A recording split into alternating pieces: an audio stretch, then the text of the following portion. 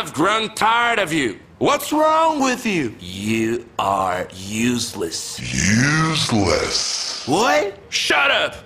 This is your contract. Or better, was. What a shame.